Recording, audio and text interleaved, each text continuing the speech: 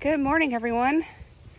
It's been a long time since I've posted a video, and I'm really excited to share with you our latest project in finishing off the side garden um, over here on the side of the house, back that way. I'll show you in a minute. We cleared it all out and it is almost ready for plants. We need to dig up some more um, of the uh, weeds and things. Like there's some, a lot of roots left from weeds and things like that since it is um, middle of winter. So it's, we got to pull those up. Otherwise they will end up coming back. Um, so we're gonna do a little bit of tilling on the surface of the soil to help break those up so they'll be easier to pull up. And then we're gonna lay down some dirt on top of that. And then we will start planting a lot of these things. Um, so right now I'm working on the side garden, which is a shade garden. So there's lots of shade plants here. Then also in the very back, which I'll show you in a video a little bit later, I'm working on a Japanese garden area and a fairy garden. And then kind of like a fern, a fern dell in between some trees. Um, so I've got a lot of ferns, as you can see and I've got um, mostly autumn ferns, but there is maidenhair, and this is the type of maidenhair that is safe to plant outside. It's a little bit more sturdy than the maidenhair plants that you tend to see um, for indoor plants. Um, here's some heucheras. Is that right, heucheras? No, these are heucheras. Sorry. These are helleborus. Got the wrong H. Um, these are really, really pretty. And I can't believe like how long these blooms have lasted. I mean, they've been blooming for over a month. This one is looking awesome. so beautiful. And this one is called Fire and Ice. And this one is called Frost Kiss Anna's Red. So I'm really excited about planting these out. I'm gonna put those, planning to put those on the side garden and then I might put these in the Japanese garden. These I just got yesterday at Growers Outlet. They are called Lucid Dreams Vivid. And they're gonna stay like that apple green color. Over here, I've got some more. This is Berry Smoothie, which I love the color of this. It's so beautiful. And then I got some Lamium um, for ground cover because we're gonna need a lot of ground cover for the side garden just to help minimize weeds. Um, and then what else we got? We got Georgia peach, which is perfect because we live in Georgia. So that's appropriate. And then I got three endless summer hydrangeas, which I'm gonna have to plant those a little bit later because we're still not quite out of the um, danger zone with frost. So, but you know, like the heucheras and well, the lamium may need to wait too. Um, but the heucheras and the cold tolerant plants like, you know, the helleborus and the, um, the Daphne here can probably stay out, although this is kind of tender new growth, so I'm not sure. I might have to wait on those too. Um, but then we also have some azaleas here. Now these are native azaleas, so the blooms are gonna be really showy really big, but they don't last very long. But I've always wanted to try and grow them. So I got a couple of different varieties. One is kind of that golden color, and then the other one is a sunset pink color. This is a camellia. Let's see if I can focus. There we go.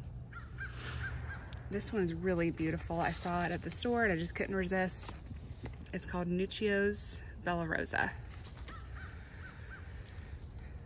It's been blooming great, even in the pot. I'm pretty amazed. All these little buds here, kind of small. See if I can try and find a bigger one. I don't know, this one is, this is an old one, but you can kind of get an idea of what it looked like.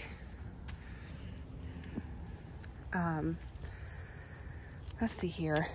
Gosh, there's so much stuff. Oh, and by the way, we got two new kitties. We got two brothers. Um, they were stray kittens. Oops, focus. The one you you see here is Mario, And the other one is Luigi. So we've got Mario and Luigi. I think Luigi is inside. He's a little bit more laid back. Mario is extremely spunky and curious and energetic, as you can see. So we got them just before Christmas and they have been so much fun. I absolutely love them. They're adorable. Um, here is Silver Heart Brunnera, which I'm really excited about planting this. It's so beautiful. I got a lot of it. I'm gonna put some in the side guard shade garden and also I'd like to put some back in the fairy garden and the Japanese garden area. That is Blue Moon Woodland Phlox. I got some pineapple sage, which I'll obviously have to wait to plant that until um, it the danger of frost has passed. And then we have um, oxalis right here, ornamental onion. I got some strawberries. Here's some cone flower. This is hot cocoa cone flower. Those are some seedlings from Floret that I tried seeding and they, most of them did not do very well. There's a few that are hanging on, but they're snapdragons. Um, and then that is right there. That is, um, gosh, I can't think of the name right now. Carnation, that's what it is.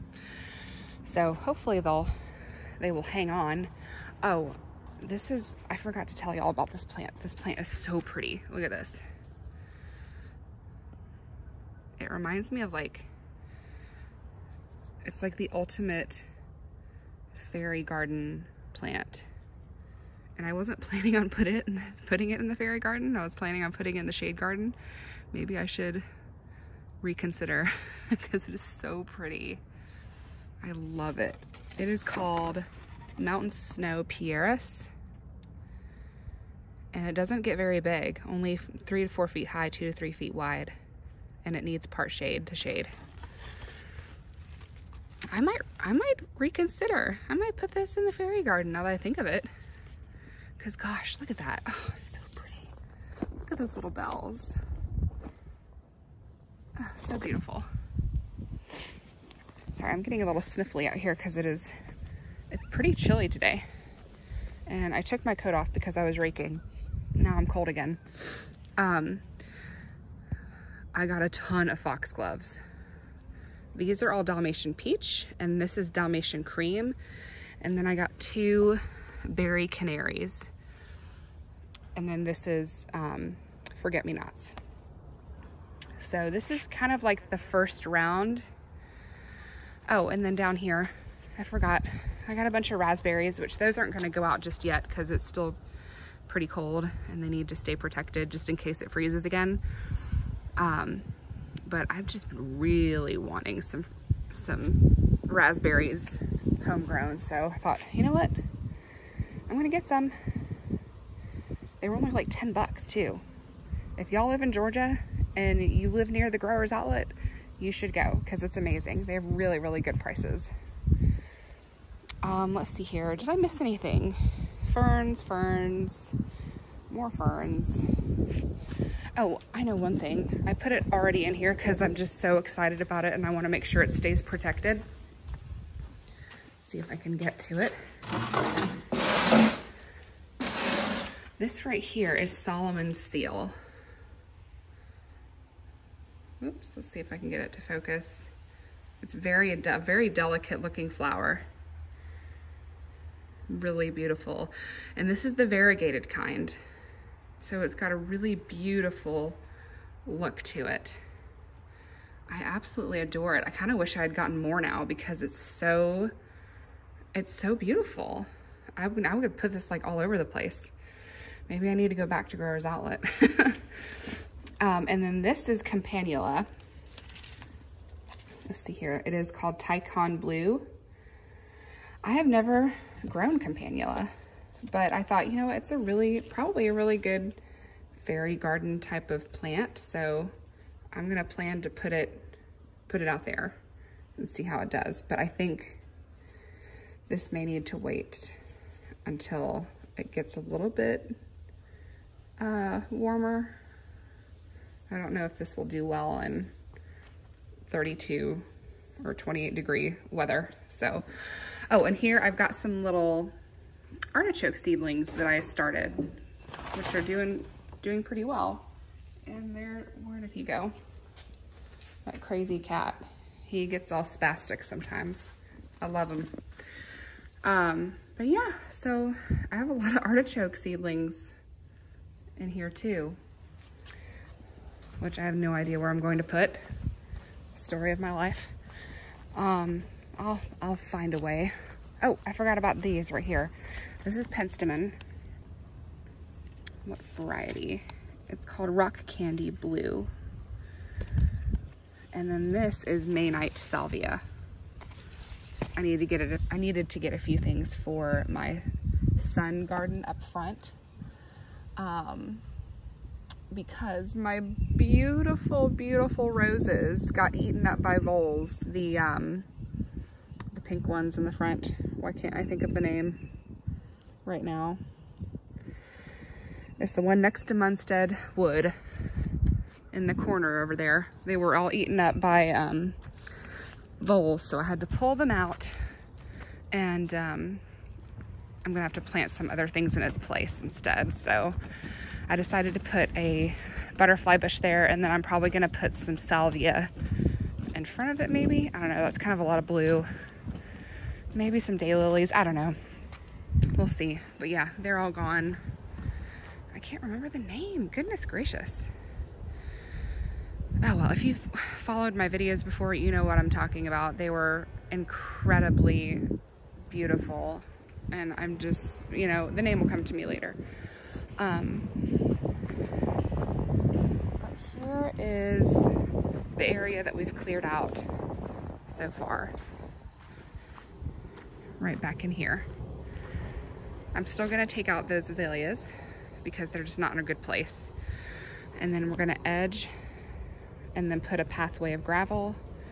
And then I'm gonna start, you know, we're gonna put down some dirt and try and get the rest of these weeds up in here and then we're just gonna plant it out. And then I'm also in this spot right here, gonna put a Japanese maple that I have in a larger pot next to the pool. So yeah, I'm really excited about it and I can't wait to get, uh, show you guys the process of it all. It's very exciting and um, what I'm gonna do right now is I'm gonna load up my cart with foxgloves because those are pretty cold hardy. They can stand the cooler temperatures. So I'm gonna go ahead and plant those out by the um, fairy garden area. And then when I get back there, I'll show you guys that area.